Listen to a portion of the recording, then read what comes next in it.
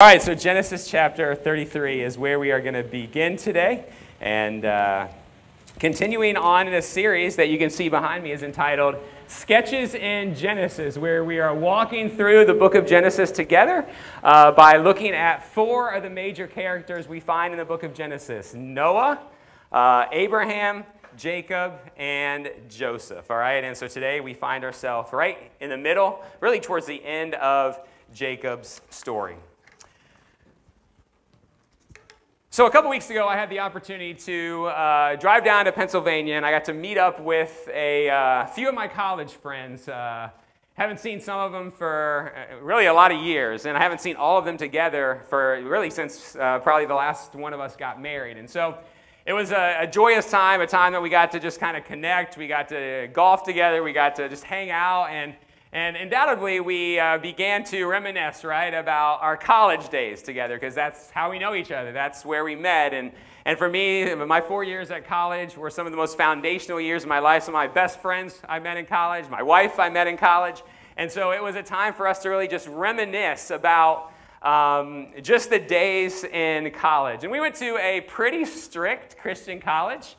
And so as we gathered together, we would reminisce and we'd talk about uh, a lot of the kind of funny and humorous things we, we, as we look back on the college nowadays. And so, for instance, when I was in college, I don't know if they still do this really anymore. Now I think they just fine students and things like that. But when I was in college, we had demerits. All right, any of you who had went to Christian college, you probably know of this to be true. But we had demerits. And so you could get demerits for any number of things, for not cleaning your room, for not showing up to class, for, you know, being in the wrong place at the wrong time, or whatever the case may be, and so many demerits, and there were certain punishments, and yada, yada, yada. Yes, I was in college. I know it seems weird, but it was college. And and so there was one thing back in the day that um, you would scan your card, and every week you would scan your card, and they had either a green screen or a red screen. Now, you wanted a green screen because that meant that everything was good and you hadn't really gotten in trouble too much. But if you scanned your card and you had a red screen, it meant you had to go to what they call the discipline committee. Yes, I'm not joking. This is real, all right? This really happened. The discipline committee. And it was there at the discipline committee that you would find out exactly what infraction you broke and how many demerits you would get and what the punishment would be and so on and so forth. Yes, again, this is college, all right? This is happening all in college.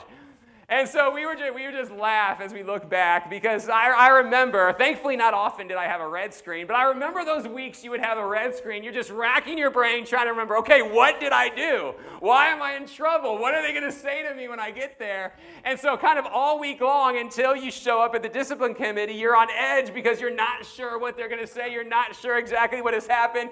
You're not sure, you know, what punishment is going to come. And so you're sitting there kind of walking on eggshells wondering, what it is that's going to happen.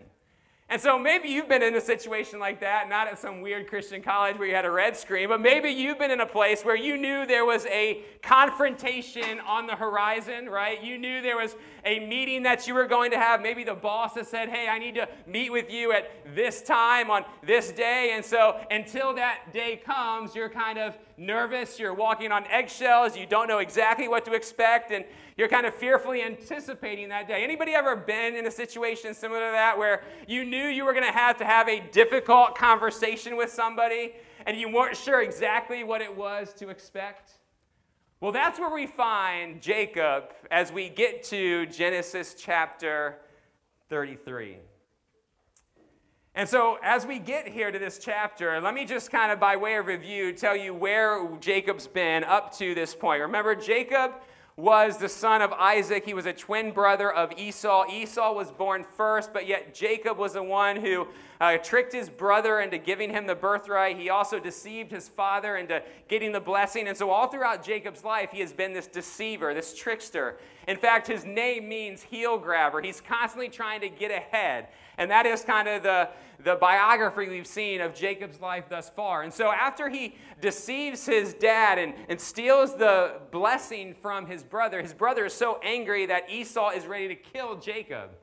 And so Jacob understands now it's time for him to get out of town. It's time for them to him to escape. And so his mother and father agree that he is to go to his mother's family back in Padan Aram, and he is to find her, uh, find his uncle Laban, because Laban has some daughters who are unmarried, and he is to go and he is to find a wife there amongst his family. And so that's what he does. He begins the long journey to Laban's household. He gets to Padan Aram, and he finds this beautiful woman named Rachel. Turns out to be his cousin, one whom he is to marry. And so he agrees to marry Rachel. And Laban says, Yes, but in order to marry Rachel, you must first work for me for seven years. And so that's what he does. And the Bible says very clearly that it was like it, it, flew by. That time went by so fast because he knew the prize at the end of that seven years. Well, what he didn't really realize was that as much of a trickster and deceiver as Jacob was, his uncle Laban was even worse. And so that day comes when he is to finally marry Rachel, and he wakes up the next morning to only to find out that in the darkness of night he has been given Rachel's older sister Leah to marry instead of Rachel. Because Laban in that culture understood that it was not right for the younger daughter to get married before the elder daughter. And so Laban deceives Jacob, hasn't worked for seven years, and then at the last minute gives him Leah to marry instead of Rachel. And so obviously, just like you would be, he's upset, right? He's angry. And so he goes to Laban and can't believe how he's been duped and deceived into marrying Leah instead of Rachel. Well, Laban says, Well, you know what? I'll give you Rachel as a wife as well. And uh, she can be your wife if you'll just work for me for seven more years. And so that's what happens. He gets Rachel, and then he works for seven more years for Laban. Now, the entire time that he is working for Laban, Laban is prospering because God's hand is on Jacob and is causing everything that Jacob touches really to prosper. And so Laban obviously does not want Jacob to leave. But it reaches a point where Jacob and his wives are finally so fed up that he decides it is time for him to leave town. And so Jacob and uh, his 11 sons and some of their daughters, they finally leave. But in order to leave and to go into the promised land that God has told Jacob his descendants are going to inhabit, he knows that he is going to have to eventually confront Esau. And so he's leaving a bad situation to go to a situation that, in his mind, could be even worse. And so that's where we pick up the story in Genesis 33. Just before this, as he is there awaiting the arrival of Esau, we talked last week about how he wrestled with God and how God really got his attention, how God is going to change his name from Jacob to Israel, and how this is really a spiritually transforming moment for Jacob. He is finally turning his heart towards God, surrendering his life to God, and from this point on, everything in his life is going to change. And so we get to chapter 33, verse number 1.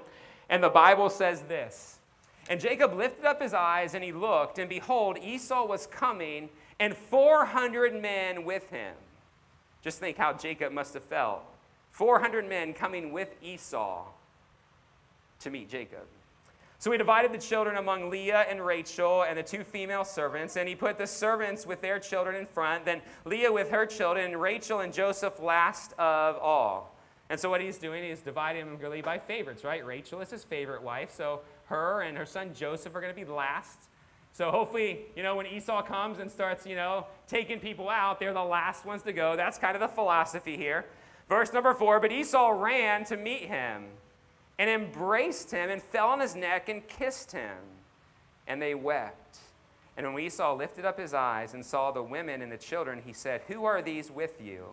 And Jacob said, The children whom God has graciously given your servant. Then the servants drew near, they and their children, and they bowed down. Leah likewise and her children drew near and bowed down. And last, Joseph and Rachel drew near, and they bowed down. And Esau said, What do you mean by all this company that I met? Jacob answered, To find favor in the sight of my Lord. But Esau said, I have enough, my brother. Keep what you have for yourself. And Jacob said, No, please, if I have found favor in your sight, then accept my present from my hand, for I have seen your face, which is like seeing the face of God, and you have accepted me. Please accept my blessing that is brought to you, because God has dealt graciously with me, and because I have enough. Thus he urged him, and he took it. Then Esau said, Let us journey on our way, and I will go ahead of you.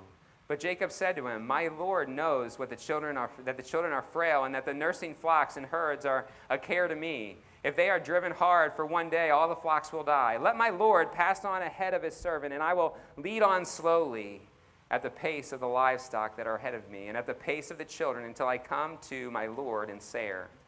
So Esau said, Let me leave with you some of the people who are with me. But he said, What need is there? Let me find favor in the sight of my Lord. So Esau returned that day on his way to Seir. But Jacob journeyed to Succoth and built himself a house and made booths for his livestock. Therefore, the name of the place is called Succoth. And Jacob came safely to the city of Shechem, which is in the land of Canaan, on his way from Padan Aram. And he camped before the city. And from the sons of Hamor, Shechem's father, he brought for a hundred pieces of money the piece of land on which he had pitched his tent. There he erected an altar and called it El Elohe Israel. And so today I want to speak to you a message I've simply entitled A Brother's Embrace. Right? Because the reality of the situation is this Jacob did not know what to expect when Esau approached. He was fearing the worst, he was fearing what might be, and then all of a sudden, it turned out way different.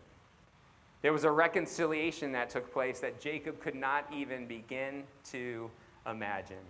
And so, as Jacob confronts Esau in this passage, we're going to learn several important lessons, both about the transformation that is taking place in, in Jacob's life, about what it means to reconcile with a brother, and we also see in this passage a beautiful picture of the grace of God. All right, so let's pray, and then we'll dive in together. Heavenly Father, we thank you so much for this day that you've given to us. We thank you so much just for the opportunity we have just to gather together here in this place. Lord, I pray that in the moments that we share, that you will help us, Lord, just to have understanding of what it is that you want us to see from this passage. God, I pray that you will help us, Lord, just to see Father God, just how important it is to reconcile with those who maybe we have wronged or those who we have offended. Help us to understand, Lord God, the beautiful picture of grace that you are painting for us in this passage. And I just pray that you'll help us just to open up our hearts to what it is that you have for us. And I just pray that you'll be glorified and honored in everything that we do. And it's in Jesus' name we pray. Amen. So here we have a passage Genesis 33, where we are going to see a lot of important lessons, I think that can be applicable to our lives. And so we're going to see the transformation in Jacob's life, we're going to see the reconciliation that was needed, and then we are going to see just a beautiful picture of grace here in this passage. So the first thing I want us to see are the proofs of transformation the proofs of a transformed life. As we talked about last time, in Genesis 32, there was this amazing encounter that God had with Jacob. It says that he wrestled all night long with what he thought at first was a man, but only turns out to be God himself, the pre incarnate Christ. He is wrestling. And in this wrestling match, Jacob's life is going to be transformed and his life is going to be changed forever. And so now we get to Genesis chapter 33, and we see some of the fruit of this transformation that is taking place in Jacob's life. In Matthew chapter 7, the Bible says, People will know us by our fruit, right? If you're familiar with the Bible, it says that people can look at our lives and they should be able to tell what our lives are based on the fruit that our lives produce. And so the proof of a transformed heart in Jacob's life will be a transformed life, right? If his heart is truly being changed and transformed, then we should see fruit of that evidenced here in his life. And so, as we walk through Genesis 33 and get into chapter 34, we're going to see that by no means was Jacob perfect. But as we are going to see, we are going to begin to see glimpses of a man who has truly been transformed because of this encounter with God. After he wrestled with God, everything in his life changed. And we're going to see evidence of that here in chapter 33. So, what are some of these proofs of a transformed life that we see here from Jacob? Well, first we see that there is a sincere desire to put the well being of others first. Notice what it says in verse number three.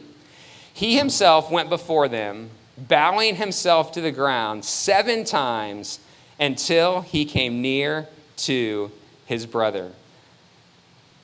Verse 2 says, And he put the servants with their children in front, then Leah with her children, and Rachel and Joseph last of all. So, if you were with us last week in chapter 32, you know that Jacob was ready to divide his family and send them off in different directions, right? His thought was that if Esau comes, he'll send one wife this way and one wife this way, and whichever way Esau goes, at least the other family would be safe, right? He was essentially willing to sacrifice one wife and a set of kids for another wife and set of kids so that he at least would leave with something. But as we get to chapter 33 and we see after this encounter with God, we see now everything has changed. Instead of sending them ahead and him kind of waiting back to see what happens, he's going to take responsibility within his home and he is going to step to the front and he is going to go ahead. So he's willing to put himself out there and put other people ahead of himself. Instead of them going and encountering Esau first and him waiting to see what happens and him kind of looking out for number one, his life is beginning to be transformed, and instead, he is going to approach Esau and allow the rest of his family to kind of stay behind and see what happens. So instead of putting himself first, like we've seen him do all throughout his story so far, and seeking to save his own life and seeking to do what's best for him, he is finally looking at life with a desire to serve other people and put their well being first. He moves himself from the back of the line, which was the safest place, and comes to the front of the line. Philippians chapter 2, the Bible says this So if there is any encouragement in Christ, any comfort from love, any participation in the Spirit, any affection and sympathy, complete my joy by being of the same mind, having the same love, being in full accord and of one mind. Do nothing, notice this, from selfish ambition or conceit, but in humility count others more significant than yourselves. Let each of you look not only to his own interests, but also to the interests of others. And up to this point, we would have never seen Jacob live out those verses. It was all about him and what he could get out of a situation, how he could maneuver a situation, and how he could benefit even if it meant at somebody else's detriment. But now that he's had this encounter with God and now that his life is beginning to be transformed, we see a person going from selfish to selfless. And he is allowing himself to be put in the dangerous position while his family lags behind. He is willing to serve others instead of just simply serving himself. He's willing to look out for the interests of others instead of looking out for the interests of himself. So there's a desire to put the well being of others first. Another proof we see of a life that's being transformed is that there was a genuine humility in his dealings with Esau. There was a genuine humility in his dealings with Esau. You see, instead of looking to promote himself as the one with the birthright and the one with the blessing, instead of, you know, trying to see himself as better than Esau like he had when they were together previously, notice what he does. As he approach, approaches Esau, the Bible says in verse 3 that he bowed himself to the ground seven times until he came near to his brother. So just picture this scene. Esau is off in the horizon. And as they begin to be able to see each other, we find Jacob seven times as he is approaching, falling face down to the ground, essentially bowing down before Esau. That is a greeting in those days that you would give to a king. And what he is trying to communicate to Esau is that he is no longer looking to kind of lord over Esau. In fact, when you look at this passage, you see that five different times in this passage, he refers to himself as Esau's servant. He'll say, My Lord, or he'll say, I am your servant. So we see here an attitude that is completely different than it was 20 years prior when he left right? Because before it was all about how he could lord over his brother Esau, stealing the birthright, stealing the blessing, getting every advantage he could in that relationship. But now, as he approaches, he has a humble heart and he calls himself Esau's servant. So there was a genuine humility in how he dealt with his brother. A third proof of a transformed life is that there's a constant acknowledgement of God's good grace in his life. Notice what it says in verse number five is they embrace each other and Esau begins to hug him. It says, And when Esau lifted up his eyes and saw the women and the children, he said, Who are these with you? And Jacob said, The children whom God has graciously given your servant. So he understands the grace of God on his life. And that is a proof, that is a, uh, you know, an obvious sign that he is being transformed. Because you look at Esau, elsewhere in the passage, he says, you know, uh, that he doesn't need anything because, you know, I have all these things. I have oxen and donkeys and flocks, and I have all these things. But here in the life of Jacob, we see he recognizes it was because of the grace of God that he had all these things. Lamentations 3, verse 22 The steadfast love of the Lord never ceases, his mercies never come to an end. They are new every morning. Great is your faithfulness. So, unlike Esau, who said, I have enough, Jacob acknowledged that everything he had, as Esau looked and saw his wives and his children, all the livestock, and he asks, Who are all these people? Jacob says, They are the gracious gift that God has given me. Isn't that an amazing picture compared to where we've seen Jacob up to this point? His life is being transformed, and now he is acknowledging that everything he has is not uh, because he's done it himself or because he's earned it on his own. Everything he has is a result of God's gracious goodness on his life. And the Bible tells us in James that in our lives, every good and every perfect gift comes down from above, from the Father of lights, in whom there is no variableness or shadow of turning. And so, one of the characteristics of a life that is being transformed is an acknowledgement that God's grace is prevalent on your life, that everything we have is because of God and His goodness and His grace, and we deserve nothing. A fourth characteristic there's a noticeable generosity that develops in Jacob's life. A noticeable generosity. Look at what it says in verse number eight. Esau said, What do you mean by all this company that I met? Jacob's answer, To find favor in the sight of my Lord. And so here, Jacob's had all these possessions, and we talked about it last week. All these animals, all these possessions, but yet he's willing to generously give them to Esau in hopes of finding favor. He is developing a heart that is generous. And one of the keys to a life that's being transformed by God is a person who understands the importance of generosity, right? We understand that what we have is not our own, and so we can be generous. Instead of living close fisted, we can live open handed and realize that, God, everything I have is yours, so help me just to be generous and to give it out. And so that's where Jacob is.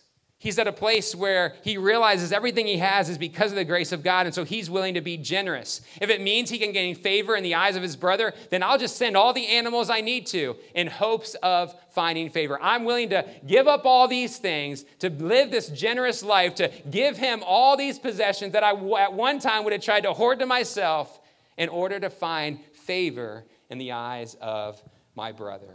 And so we see another key to this transforming power of God that is taking place in Jacob's life is the fact that he's willing to part with some of these possessions.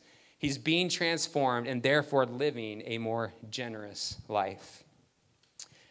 And the last characteristic I want to bring to your attention is found at the very end of this passage where we find him building this altar. And it says, There he erected an altar and called it El Elohi Israel.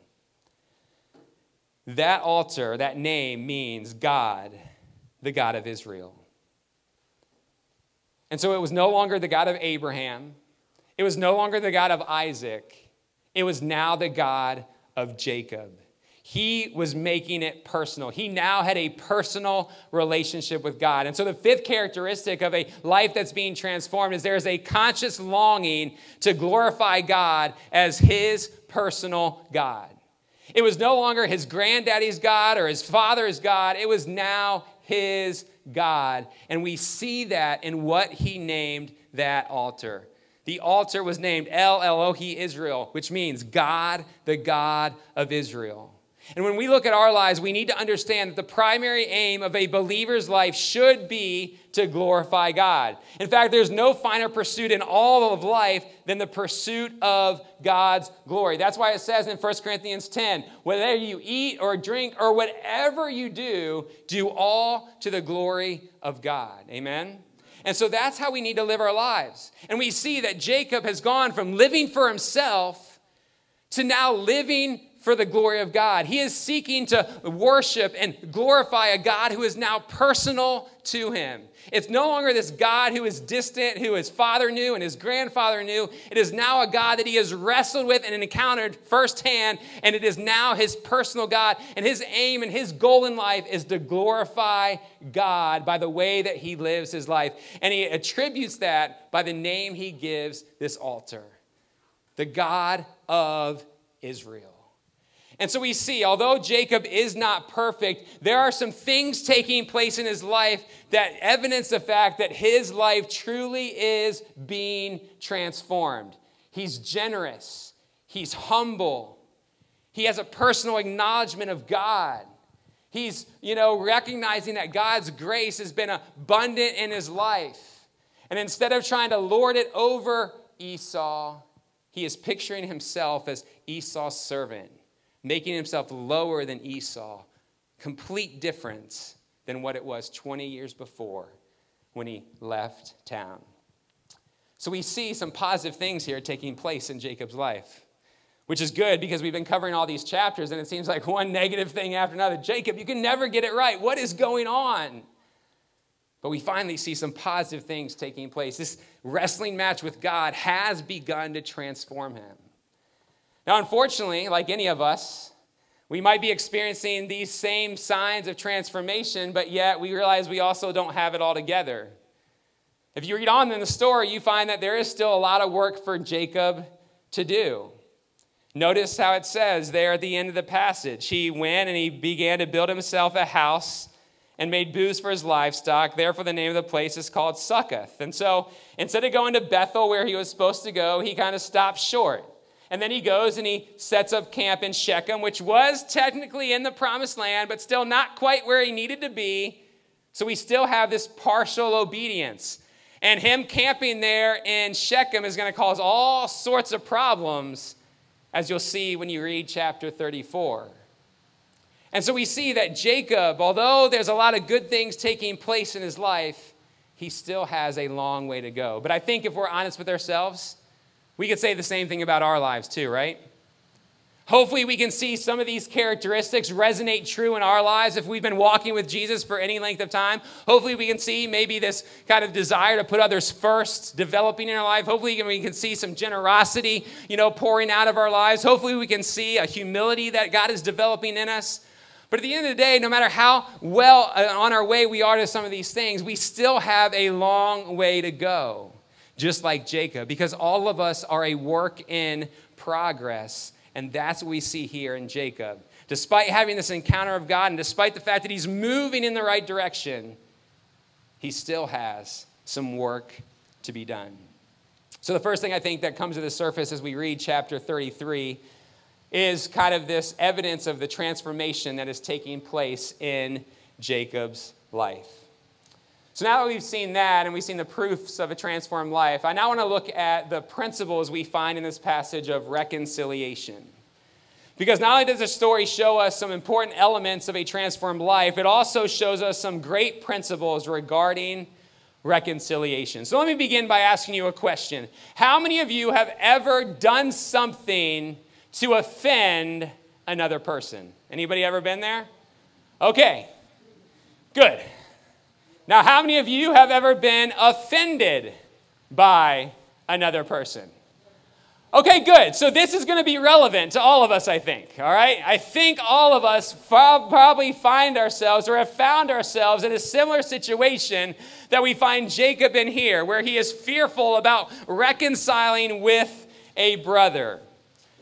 We've all been there, whether we've been the offending party or someone has offended us. And regardless of what caused the fracture in the relationship, there are some important things we must understand about reconciliation. I think several of them kind of bubble up to the surface here in this passage. And so, if you get nothing else out of today or you write nothing else down, and I should have taken the time to put on the screen so you could see it, but I would encourage you make a note in your phone, write this down because there's five things we see here about reconciliation that are going to be very integral to each of our lives if we ever have to go through this with a fellow brother or sister. If you're a person who tends to at times offend somebody, or you're a person who at times has been offended, this can be very helpful for you. And so I hope that you'll take time to write it down so you can remember it. So, what are some of these principles we find of reconciliation as we see here in Genesis 33? Well, the first one is this reconciliation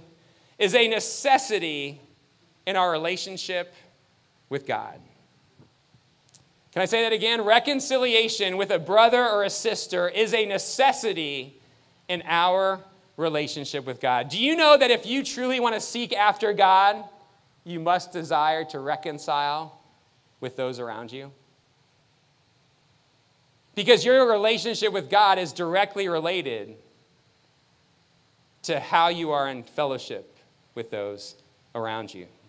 That's why it says in Matthew 5 if you are offering your gift at the altar and there you remember that your brother has something against you, Leave your gift there before the altar and go.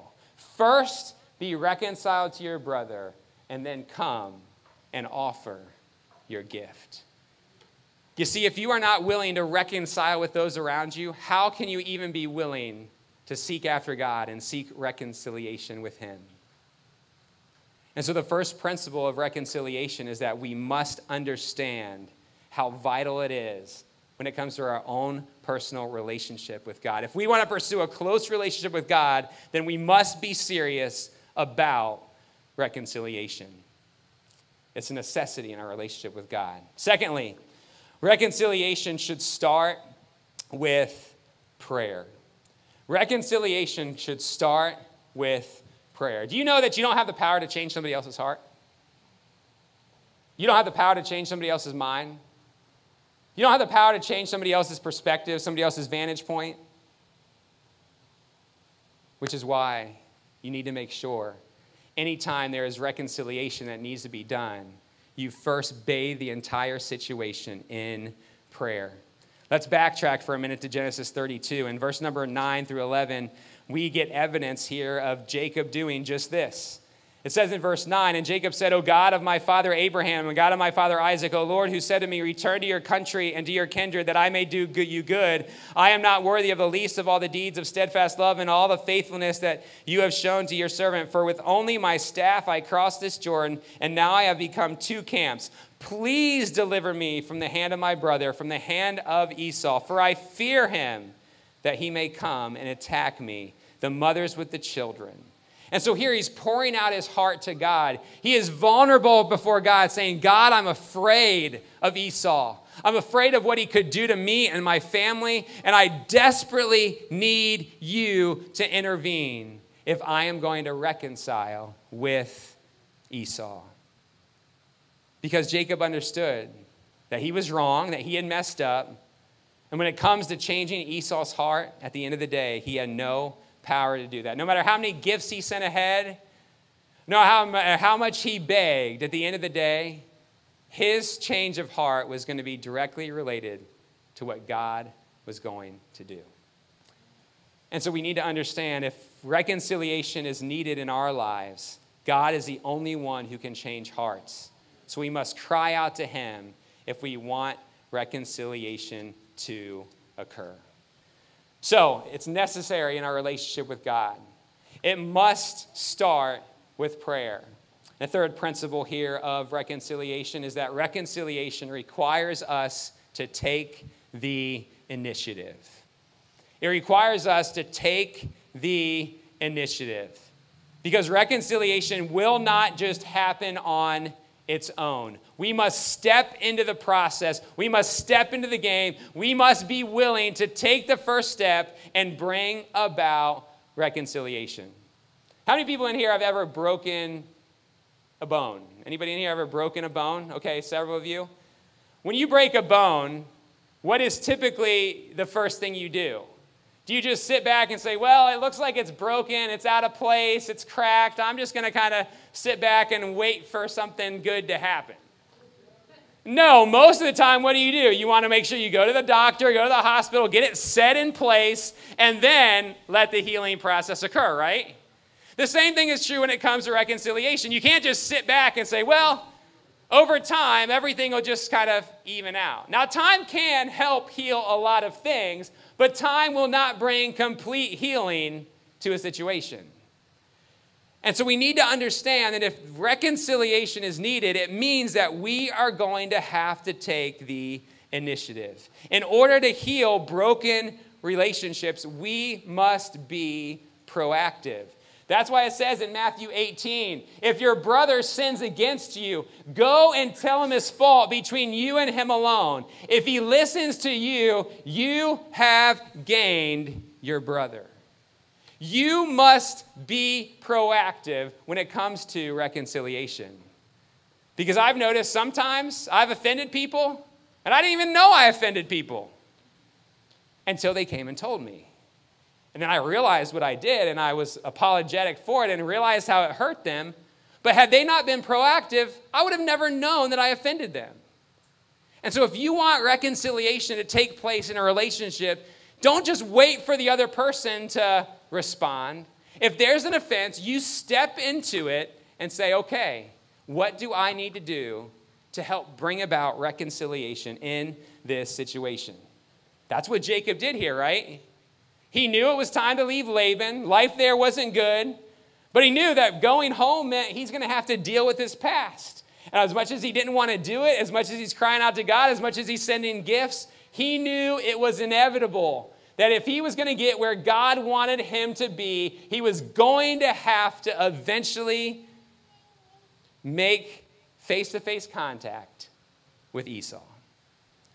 And so he was proactive and he took initiative in trying to rectify the situation. So he requires us to take the initiative.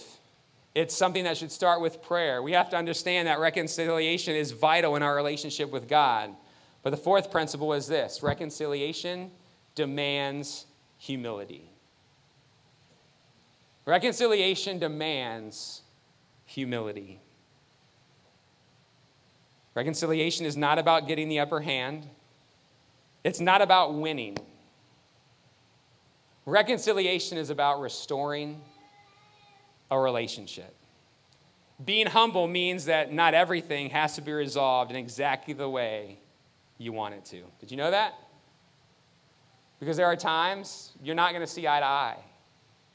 But reconciliation is not about winning an argument or winning a fight, it's about restoring a relationship. In fact, Rick Warren says this emphasize reconciliation, not resolution.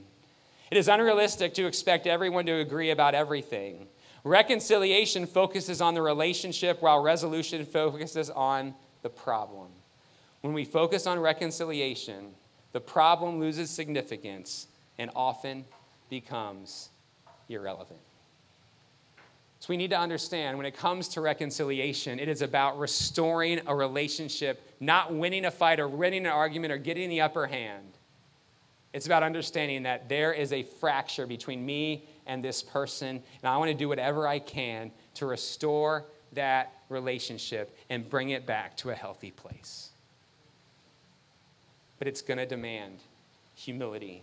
That's why James 4 says, God opposes the proud but gives grace to the humble.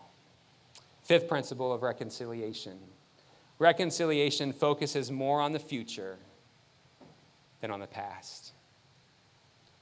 Reconciliation focuses more on the future than it does on the past. Now, the offense between Jacob and Esau was obvious, but as they meet for the very first time in 20 years here, we never see Esau hold that over Jacob's head. It was obvious what the problem was.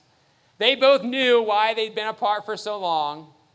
But what does Esau do? He runs, he grabs his brother around the neck, and he hugs him.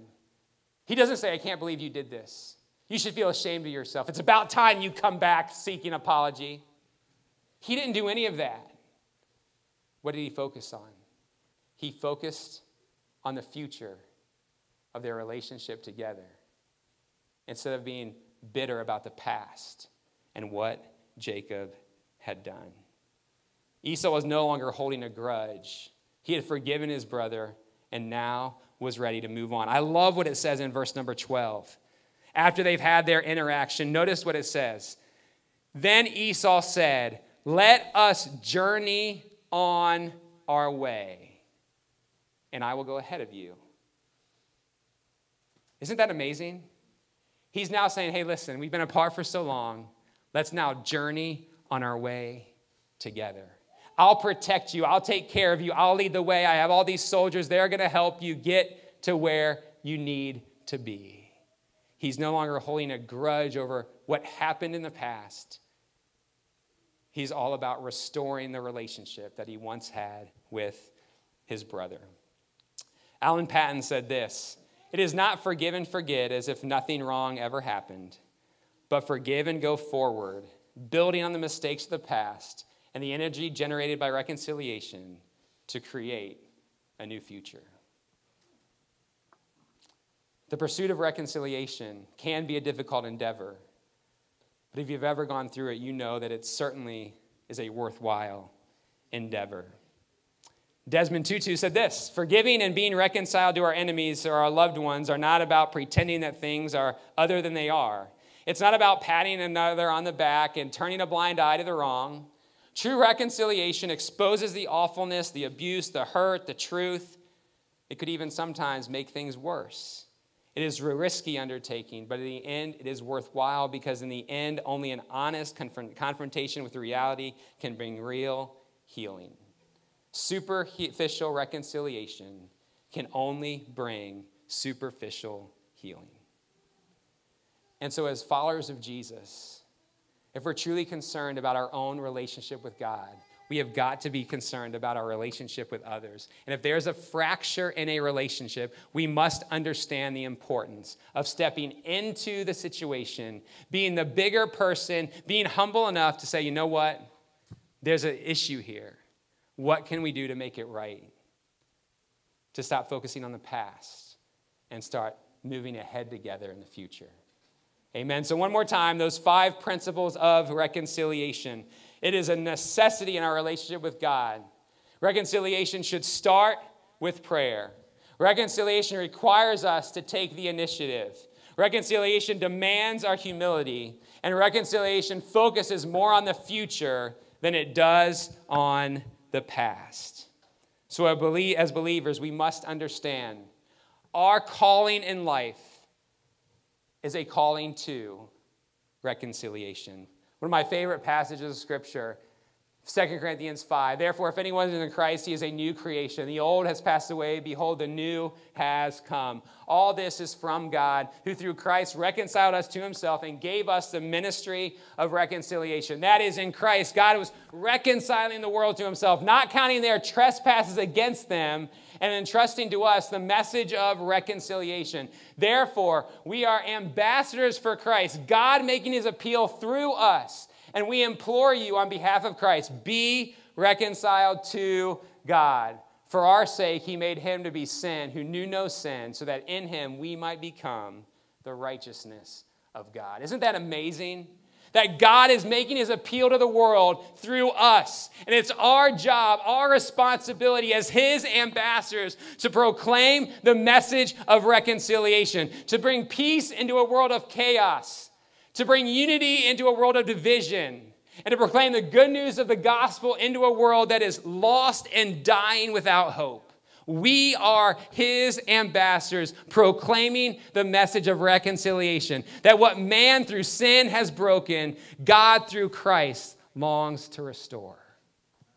That is the message of reconciliation, and that is what we are called to do as believers.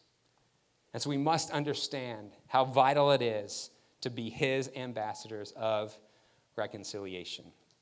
So we see the principles of reconciliation. We saw the proofs of Jacob and his transformed life, but real briefly as we close, as really a way of conclusion, I want to also point out to you a great picture we see here of grace. Just an amazing picture of grace. Grace, as we talk about the word, is a term we maybe hear often in church, but it simply means unmerited favor. Jacob did not deserve to be forgiven by Esau. Jacob was in the wrong clearly, and he had made a mess of things. And any attempts in his effort to try to get things right really were all up to Esau because Jacob was the offending party. However, thankfully, we see in this passage that Esau's heart has changed in the 20 years and he's willing to forgive Jacob. But it's not because of the gifts that Jacob appeals with, it's not because of all the nice things he tries to send. It's simply because he was ready to restore his relationship with his brother. And I want you to notice in this passage, we have two different views of really grace, as we might say. Notice in verse 8, Esau said, What do you mean by all this company that I met? And Jacob answered, To find favor in the sight of my Lord. So in the beginning, Jacob is sending all these gifts because what is he trying to do? He's trying to earn Esau's favor. Have you ever talked to people in life who are trying to earn God's favor by things that they do? And they say, if I do this and I do this and I say this and I'm nice here and I do all these things, that maybe I can earn God's grace and I can earn God's favor. You see, so many people, that's what they view a relationship with God as. If I can just do all these things, I can maybe earn God's favor. If my good outweighs my bad, then I can earn God's favor when it's all said and done. And that's where Jacob was in the beginning. But then he meets Esau and they hug and he has conversation. And notice what it then says as we move forward into verse number 12 or 11. It says, Please accept my blessing that is brought to you because God has dealt gracious with me, with me because I have enough. Thus he urged him, and he took it. Sorry, let me read verse 10. Jacob said, No, please, if you have found favor in your sight, then accept my present from my hand. For I have seen your face, which is like seeing the face of God, and you have accepted me. So early on, he was trying to find favor by all these things he was sending ahead. But now he meets Esau. He realizes that all those gifts meant nothing. And now he's simply saying, hey, just take these gifts because I realize I've already found favor in your sight.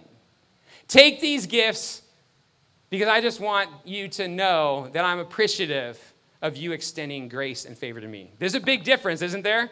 In the beginning, he was trying to find God's favor by sending the gifts. And now at the end, he is wanting to give gifts because he realizes he's already found favor in Esau's sight. And that's how it is for us in our relationship with God. If you think you can earn your way into a relationship with God, you are sorely mistaken. You cannot do anything to earn God's favor, you cannot do anything to earn God's grace. God already has poured his favor on you. God has already expressed his grace to you in sending Jesus Christ. And so now, what do we do? As a response to his grace, we then seek to live in his favor and please him and honor him and live for him, not to earn his grace, but because we are recipients of his grace. Amen? And so we see a beautiful picture here of grace in this interaction between Esau and Jacob. For by grace you have been saved through faith, and this is not your own doing, it is a gift of God, not a result of works, so that no one may boast. Isn't that good? Not a result of anything that we can do, but all because of what Jesus has done. When I was in college, I hated that stinking red screen. However, that red screen was revealing that there was a problem. It was revealing that something needed to be dealt with. It was revealing that something needed to be resolved. And for many of us, maybe there's a relationship in our lives currently where that red screen is showing, where we need to deal with. Because the truth of the matter is, until we deal with that, we can't truly be in a right relationship with God. And so here in Genesis 33, we see a wonderful kind of formula for what reconciliation looks like. We also see some great proofs of a transformed life. Maybe you're here today and you say, you know what, I think I'm right with everybody, but maybe I need to hone in on some of these you know, characteristics of a transformed life. I need to be more humble. I need to be more generous. I need to seek to put others above myself. I don't know. There was so much in this passage that could hit home, and I don't know how God's going to land it in the runway of your life, but I will say this. I'm pretty sure that anytime the Word of God is open and your heart is open, that the Spirit of God is trying to get across something to you. And so here is your moment to take that, to deal with it, to do business with God, and for you to allow the Spirit of God to go to work in your life. Until we pursue reconciliation, true healing cannot occur. And so maybe you're here today and you say, you know what, Pastor Justin, I need as soon as this service is over, I need to go find somebody and I need to reconcile a relationship with them. Can I encourage you? Step out in courage and do it. Pray, ask God to help and guide you, and you'll be amazed at how God blesses your life because of your desire to be reconciled to a brother. Maybe you're here today and you say, you know what, Pastor Justin, I've been trying to earn God's favor all my life, but today I realize that it's not about earning his favor. It's about simply responding to the favor He's already poured onto my life. So maybe you're watching today and you say, you know what, Pastor Justin, today I need to respond to God's grace, not by trying to earn my place in His family, but by recognizing that He's already done everything necessary. And so today I'm going to respond to His grace and simply accept it and move forward trying to live my life to please Him. If that's you and you need a relationship with Jesus and you're watching online, can I encourage you to text the word surrender to the number you're going to see on your screen. There's no magic in that text, it's simply a way for us to know that God is working in your heart so that we can come alongside and help you and give you some resources that'll help you on that journey. And so, again, I don't know where this lands in the runway of your heart today. But I pray that whatever God is trying to teach you, whatever God is trying to tell you, don't just put up your arm and stiff arm it away and say, No, I'm not going to deal with that right now but instead choose to not just be a hearer of God's word, but to also be a doer. Amen? Amen? So, Father, thank you for this time that we have in your word. Thank you for the opportunity we've had just to, God, dive into your word together. And I pray that, Father, in the moments we've shared, we've been encouraged, we've been challenged, we've enjoyed the fellowship. The time of worship was a blessing. But I pray even more than that, that we've allowed your spirit to go to work in our heart. So, God, I pray that you'll dismiss us now with your blessing. You'll help us to walk with you. And whatever it is you're putting on our heart, whatever decision it is we need to make, help us to move here with the courage and the tenacity to do whatever it is you're putting on our heart to do. It's in Jesus' name we pray. Amen.